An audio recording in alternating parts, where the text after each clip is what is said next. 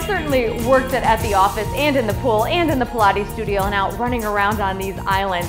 I came in here with my tresses in complete distress. Melissa was able to fix them up with a deep conditioning treatment. She popped me under the dryer and then just snipped off those distressed ends.